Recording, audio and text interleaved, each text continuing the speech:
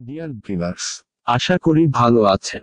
মহাকাশে ওড়ার অপেক্ষায় বঙ্গবন্ধু স্যাটেলাইট প্রধানমন্ত্রী শেখ হাসিনার হাতে বঙ্গবন্ধু স্যাটেলাইটের রেপলিকা। নিজে দেশের এই রকম একটা প্রযুক্তিগত উন্নয়নের খবর একজন বাংলাদেশি হিসেবে নিজেকে গর্বে মাথা উঁচু করে দেয়। বাংলাদেশ এই উৎক্ষেপণের মাধ্যমে বিশ্বের সাতান্নতম দেশ হিসেবে নিজস্ব স্যাটেলাইটের মালিক হবে। মহাকাশে বঙ্গবন্ধু স্যাটেলাইটের অবস্থান হবে একশো উনিশ দশমিক এক ডিগ্রি পূর্ব দ্রাঘিমাংশে।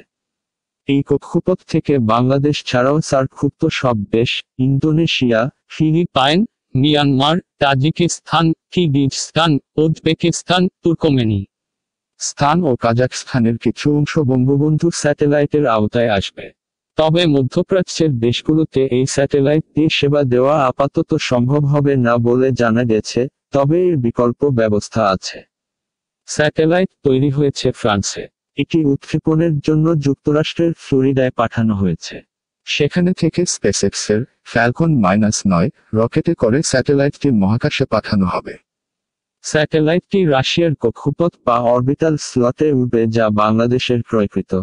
স্যাটেলাইট ওড়ানোর কাজটি বিদেশে হলেও এটি নিয়ন্ত্রণ করা হবে বাংলাদেশের গাজীপুরের জয়দেবপুর ও রাঙামাটির বেতবুনিয়ায় গ্রাউন্ড কন্ট্রোল স্টেশন থেকে। বিটিআরসির হিসাবে প্রতিটি টিভি চ্যানেল স্যাটেলাইটের ভাড়া বাবদ প্রতি বছর প্রায় দিয়ে থাকে। কি সুবিধা পাব বঙ্গবন্ধু স্যাটেলাইট চালু হলে? এক, বৈদেশিক মুদ্রারি সাশ্রয়। দুই, অব্যবহৃত অংশ নেপাল, ভুটানের মতো দেশে ভাড়া দিয়ে প্রতি বছর প্রায় পঞ্চাশ মিলিয়ন মার্কিন ডলার অর্থ আয় করা যাবে। কারণ চল্লিশটি ট্রান্সপন্ডারের মধ্যে মাত্র বিশটি ব্যবহার করবে বাংলাদেশ। আর বাকি বিশটি ভাড়া দেওয়া হবে। তিন, বিভিন্ন প্রকার তথ্যানুসন্ধান। চার, মহাকাশ বা জ্যোতির্বিজ্ঞান গবেষণা। পাঁচ, আবহাওয়ার পূর্বাভাস। ছয়, টিভি বা রেডিও চ্যানেল, ফোন, মোবাইল ও ইন্টারনেট যোগাযোগ প্রযুক্তি। সাত, নেভিগেশন বা জাহাজের ক্ষেত্রে দিক নির্দেশনায়। আট, পরিদর্শন পরিক্রমা, সামরিক ক্ষেত্রে শত্রুর অবস্থান জানার জন্য। নয় দূর সংবেদনশীল দশ, মাটি বা পানির নিচে অনুসন্ধান ও উদ্ধার কাজে। এগারো, মহাশূন্য এক্সপ্লোরেশন বারো, ছবি তোলার কাজে সরকারের জন্য এটা খুবই গুরুত্বপূর্ণ। তেরো, হারিকেন, ঘূর্ণিঝড়, প্রাকৃতিক বিপর্যয় পূর্বাভাস। চোদ্দ আজকাল সন্ত্রাসীরা অনেক রিমোট এরিয়াতেও স্যাটেলাইট ফোন ব্যবহার করছে। পনেরো গ্লোবাল পজিশনিং বা জিপিএস ষোলো গামা রে বারস্ট ডিটেকশন করতে।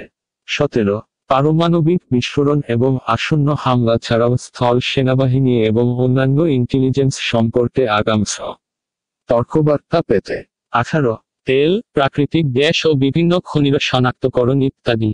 উনিশ ডিজিটাল ম্যাপ তৈরি করা। উপরের বিভিন্ন কাজের জন্য অবশ্য বিভিন্ন আলাদা রকমের স্যাটেলাইট ব্যবহার করা হয়। একটি স্যাটেলাইট দিয়েই সব কাজ হয় না। তথাপি আমাদের মতো দেশের জন্য টিভি চ্যানেল আর ইন্টারনেট ব্যবহারে খরচটা সাশ্রয়কর। তে পারাও কম না। আশা করা যায় যে মাত্র তিন থেকে ছয় বছরে এই স্যাটেলাইট পাঠানোর সকল খরচ উঠে আসবে। পরিশেষে বলতে চাই, বঙ্গবন্ধু স্যাটেলাইট উৎক্ষেপণের ফলে বাংলাদেশ সত্যিকার অর্থেই প্রবেশ করতে যাচ্ছে ডিজিটাল যুগে। তথ্য সূত্র বিভিন্ন দৈনিক পত্রিকা।